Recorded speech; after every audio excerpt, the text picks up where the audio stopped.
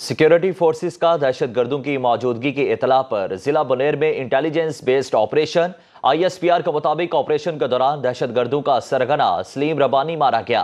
दहशत गर्द सलीम उर्फ़ रबानी न सिर्फ़ सिक्योरिटी फोर्सेस पर हमलों, बल्कि भत्ताखोरी और टारगेट किलिंग की वारदातों में भी मुलविस था।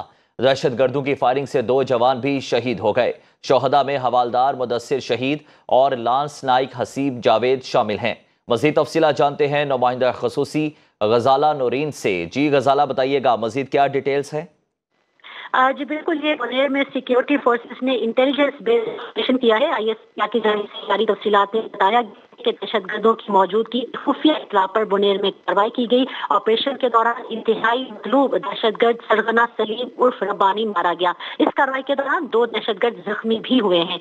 आई एस पी आर के मुताबिक दहशत गर्द सलीम उर्फ़ रब्बानी न सिर्फ़ सिक्योरिटी फोर्सेज पर हमलों, बल्कि भत्ताखोरी और मासूम शहरों की टारगेट किलिंग की वारदातों में भी मुलजा और दहशत गर्द बानी कानून न करने वाले इदारों को भी इंतहाई मतलब था। हुकूमत की जानब से दहशतगर्द सलीम के सर की कीमत पचास लाख रुपए मुकर की गई थी। आई एस पी आर की जानब से बताया गया है कि दहशत गर्दों के साथ इंतहाई बहादुरी के साथ लड़ते हुए दो सिक्योरिटी एहलकारों ने भी जाम शहादत नोश किया। लांस नाइक मुदसर महमूद शहीद की उम्र छत्तीस साल, जबकि उनका ताल्लुक जिला मुजफ्फरगढ़ से था।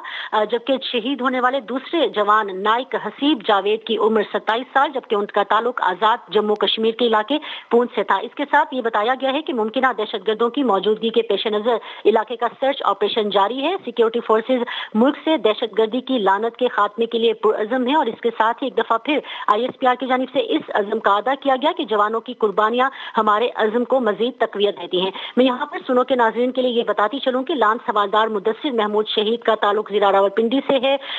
लांस हवालदार मुदसर महमूद शहीद ने सोलह साल तक पाकिस्तान आर्मी में रहते हुए मुल्क के दिफा की ज़िम्मेदारी जिम्मेदारियाँ सर अंजाम दी लांस हवालदार मुदसिल शहीद ने सोगरान में वालदेन, अहलिया और दो बेटे छोड़े हैं, जबकि शहीद होने वाले लांस नाइक हसीब जावेद शहीद, जिनका ताल्लुक आज़ाद कश्मीर के जिला पूंछ से है। उन्होंने पाँच साल तक पाकिस्तान आर्मी में रहते बिल्कुल हुए बिल्कुल सही। बहुत शुक्रिया आपका, गजाला नरीन। आपने तमाम तर तफसी से आगाह किया।